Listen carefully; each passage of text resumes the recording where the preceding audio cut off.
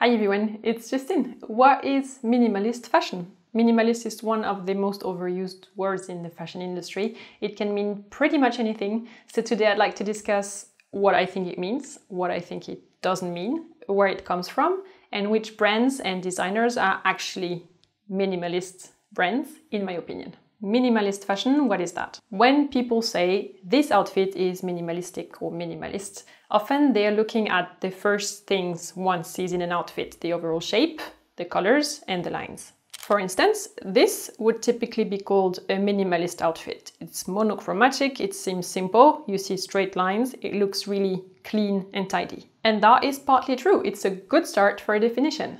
But this outfit is also monochromatic, simple, and it has straight lines. Yet you would probably call it casual rather than minimalistic, am I right? So what's the difference between those two?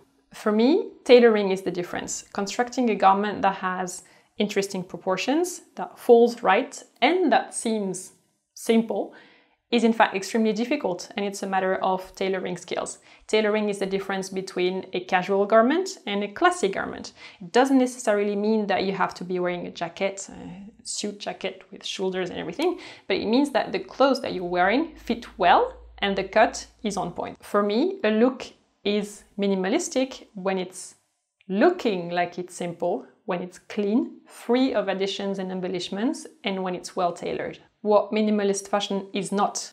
Minimalism doesn't mean that the construction of the garment is in itself basic. In fact, it just looks simple, but it might be very complicated after all, and making something complicated seem simple is an art. Minimalism does not mean less fabric is more or that what you wear has to be super thin, sheer, or transparent.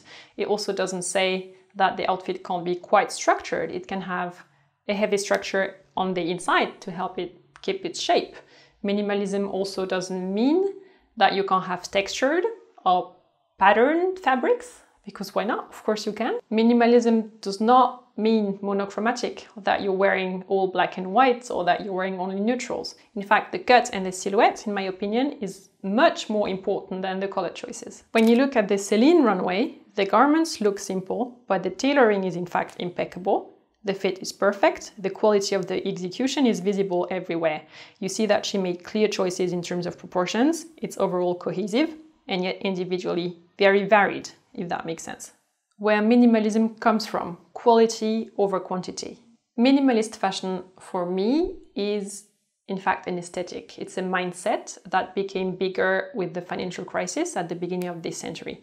With decreasing purchasing power, people starting to think a lot more about what they wore. Is it worth my money?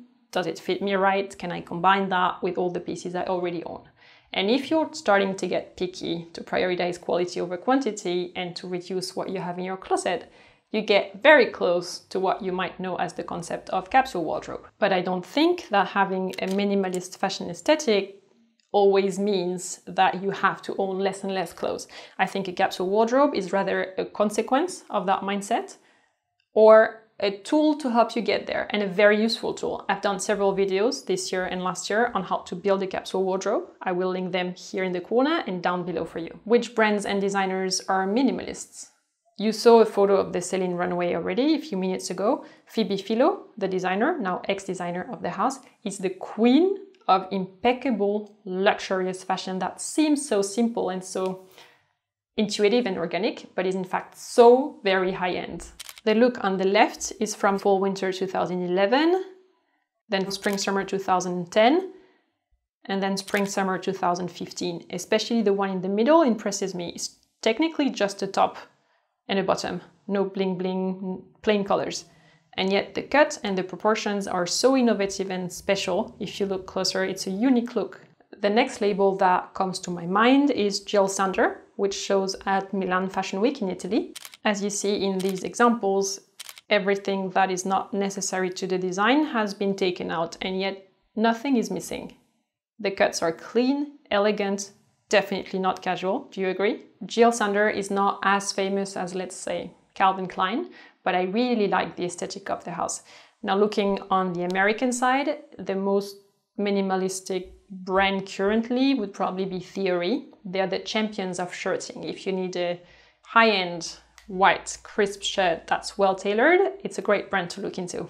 Vogue calls pieces like this unshowy clothes. They're not loud, but they're extremely well cut in high quality fabrics that look and feel luxurious. And here again, you see that they're not only black and white. The clothes are easy to combine, comfortable and special, which is everything I want. And when I design, I always try to create things that are combinable, comfortable and special. In the end, minimalist clothing is well made, smart and of good quality without all the fuss. And I think those points are all absolutely essential to get good design. What do you think makes good design? Which characteristics are you looking for when you go shopping for clothes? Thumbs up if this video made you think for a minute. Thank you very much. And if you're in the market for a new shirt, by the way, here is a video and also in the description below on how a shirt should fit when it fits right. You might find it useful. And I'll see you very soon again in a new video. Bye!